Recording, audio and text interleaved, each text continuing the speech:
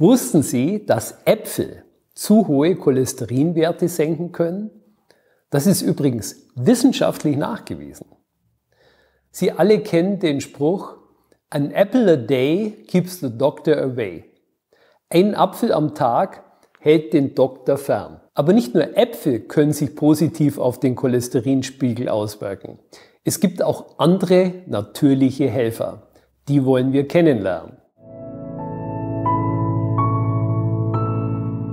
Bevor wir uns den drei konkreten Tipps zuwenden, die ich Ihnen heute mitgeben möchte, um Cholesterin natürlich zu senken, schauen wir uns kurz an, was Cholesterin eigentlich ist. Gleich mal vorne vorweg. Das Image von Cholesterin ist schlecht, aber nur, weil die tradierte Ernährungsweise in unserer Gesellschaft nicht gut ist.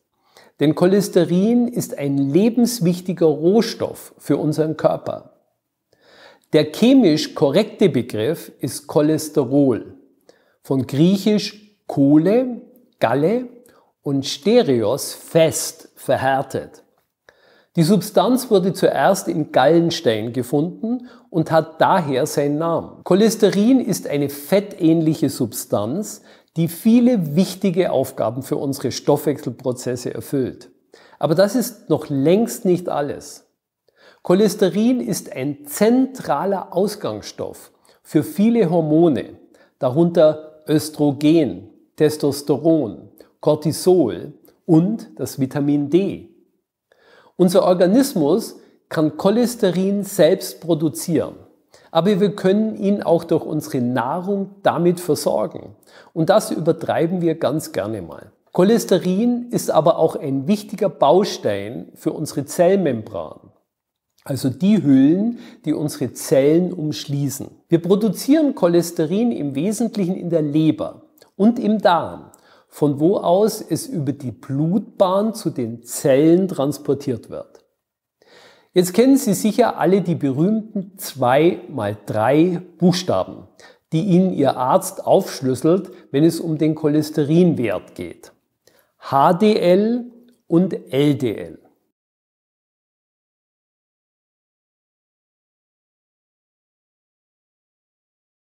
Da Cholesterin nicht wasserlöslich ist, muss es beim Transport an spezielle Lipoproteine gebunden werden, also an einen Eiweiß-Fettträger. Es gibt Lipoproteine hoher Dichte, die sogenannten HDLs, das High Density Lipoproteins, und niedriger Dichte oder LDL, übersetzt Low Density Lipoproteins.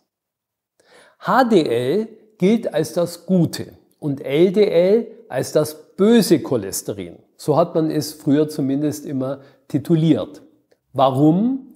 Wie immer, das haben wir ja schon oft besprochen, versucht der Körper stets eine Balance herzustellen. Damit der Cholesterinspiegel ausgeglichen bleibt, transportiert der Körper überschüssiges HDL zurück zur Leber wo es zu Gallensäure umgebaut und ausgeschieden wird. Das mit dem Fetttransportprotein LDL bestückte Cholesterin nimmt die entgegengesetzte Route von der Leber in andere Organe und die Körperzellen. In einem vereinfachten Bild ausgedrückt, HDL hat also eine Art Aufräumfunktion im Körper, indem es überschüssiges Cholesterin in die Leber zurückführt. LDL dagegen ist der Zusteller, also der Postbote, der Organe und Zellen mit lebenswichtigem Cholesterin versorgt. Merken Sie sich also, LDL von der Leber weg, HDL zur Leber hin. Sind die Zellen nicht mehr in der Lage, weiteres Cholesterin aufzunehmen, steigt der LDL-Spiegel im Blut an. Und ein erhöhter Spiegel kann gefährlich werden. LDL ist aber nur dann schlecht, wenn es oxidiert, wenn es also zu einem freien Radikal wird. In diesem Fall kann nämlich ein hoher Spiegel von oxidiertem LDL zu sogenannten Plaques führen, also zu Ablagerungen an den Wänden der Blutgefäße. Kommt es in den Herzkranzgefäßen oder im Gehirn zu allzu großen LDL-Fettansammlungen, steigen das Herzinfarkt und das Schlaganfallrisiko an. Routinemäßig wird im Blut aber das oxidierte LDL nicht gemessen. Einfach deswegen, weil es zu aufwendig und auch zu teuer ist. Grundsätzlich gilt LDL als genetisch vererbtes Lipoprotein und seine Konzentration im Blutserum ist wenig beeinflussbar. Hilfreich sind natürlich Lebensmittel mit hohem Antioxidantiengehalt, wie beispielsweise Beeren, Obst und Gemüse, um uns zu schützen. Es gibt noch eine weitere wichtige Cholesterinfraktion, das Lipoprotein A, das dem LDL-Cholesterin strukturell ähnelt. Es kann im Gefäßsystem chronische Entzündungen verursachen und in der Gefäßwand abgelagert werden. Routinemäßig wird auch das Lipoprotein A im Blutbild nicht mitgemessen. Aber jeder sollte es mindestens einmal im Leben bestimmen lassen. Da es nämlich genetisch bedingt ist, bezahlen diesen Bluttest die Kassen in der Regel, wenn man nachweisen kann, dass ein familiärer Zusammenhang besteht. Dann möchte ich nur noch der Vollständigkeit halber das VLDL erwähnen, das die Neutralfette, also die Triglyceride transportiert. Werden nun zu hohe Cholesterinwerte im Blut gemessen, wird der Patient im Allgemeinen von den Ärzten mit Statinen behandelt. Das sind Medikamente, die in den Fettstoffwechsel eingreifen und das Cholesterin senken. Man muss aber wissen, dass diese Medikamente natürlich Nebenwirkungen haben. Zum Beispiel zu starken Muskelschmerzen und Krämpfen oder sogar zu Erkrankungen der Muskulatur führen können. Außerdem besteht eine Korrelation zwischen Statinen und einem Diabetes.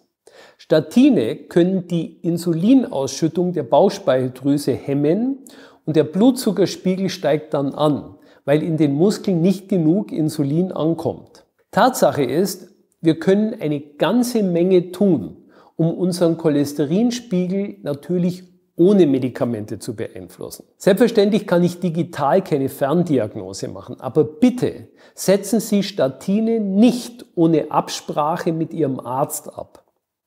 Die drei Tipps, die ich heute für Sie habe, sind wissenschaftlich gut belegt und beeinflussen Ihre Cholesterinwerte positiv auf ganz natürliche Art und Weise. Nummer eins: die Ernährung. Essen Sie so naturbelassen wie nur möglich. Meiden Sie alle industriell hergestellten Nahrungsmittel, die zuckerhaltig sind und zu fett sind. Sie verstehen schon, ich spreche von Kuchen, fetten Braten, Eis, Pommes, Schokoriegel.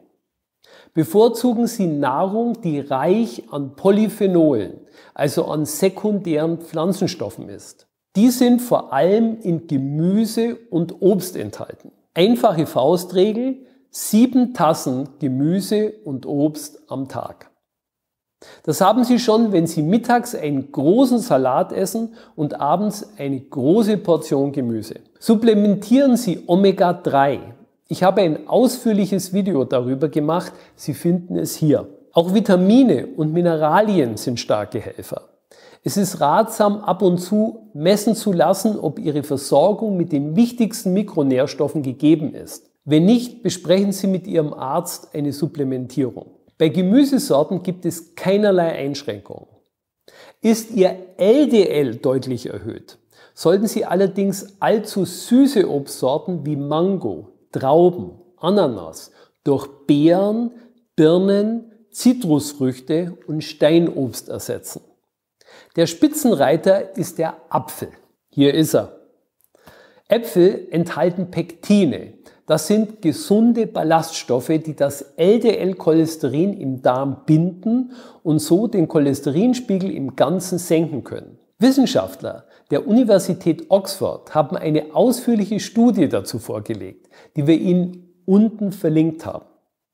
Da Cholesterin in der Leber gebildet wird, ist alles, was die Leber stärkt, auch gut für den Cholesterinspiegel. Essen Sie bittere Salate wie Rucola, Chicorée, Radicchio. Greifen Sie zu allen Kohlsorten, Spinat und roter Beete. Sie wissen, Brokkoli ist der Spitzenreiter. Trinken Sie Tees aus Löwenzahn und Mariendistel, bittere Teesorten. Auch tausend Güldenkraut ist beispielsweise oder Boxhornklee sehr bittere Teesorten. Kommen wir zum Punkt 2. Bewegung. Training sticht mit drei Trumpfkarten. Es senkt den Blutdruck, verbessert den Zuckerstoffwechsel und hat positive Auswirkungen auf den Cholesterinspiegel. Natürlich wirkt sich regelmäßige Bewegung noch in vielen, vielen anderen Bereichen aus. Ist Ihr LDL zu hoch, hat sich ganz besonders Aquatraining bewährt. Die Studie dazu finden Sie ebenfalls unten in der Beschreibung. Bewegungstraining sollte moderat sein. Das bedeutet mindestens dreimal in der Woche circa 20 Minuten bei mittlerer Belastung. Es darf aber durchaus auch häufiger sein. Von mittlerer Belastung sprechen wir, wenn Sie richtig atmen müssen, wenn Sie kräftiger atmen müssen und zu schwitzen anfangen. Wir sprechen hier nicht von stark verausgabendem Training, aber nur kurz den Hund um die Ecke zu führen, das bringt auch nicht wahnsinnig viel. Nummer drei, Gewichtsreduktion. Ihr BMI, der Body Mass Index und Ihr Bauchumfang sind die beiden Werte, die Ihnen als Leitfaden für Ihr Gewicht dienen. Sie finden im Internet einen BMI-Rechner, der Sie durch die korrekte Berechnung leitet. Der BMI sollte unter 25 liegen, idealerweise um die 20. Über 30 gilt als kritisch. Wenn Sie abnehmen, entlassen Sie Ihren Stoffwechsel und das hat direkte Auswirkungen natürlich auf den Cholesterinspiegel. Ihr Bauchumfang sollte bei Männern 94 cm, bei Frauen 80 cm idealerweise nicht überschreiten. Kritisch wird es, wenn wir bei Männern über 102 und bei Frauen über 88 messen. Das Sprichwort An apple a day keeps the doctor away kommt aus dem viktorianischen Zeitalter. Jetzt hat gerade das King Charles Zeitalter begonnen. Aber dieser Gesundheitsratschlag gilt immer noch. Darum mein Tipp, bauen Sie mindestens einen Apfel am Tag in Ihren Speiseplan ein. Ganz herzlich, Ihr Ulrich Bauhofer.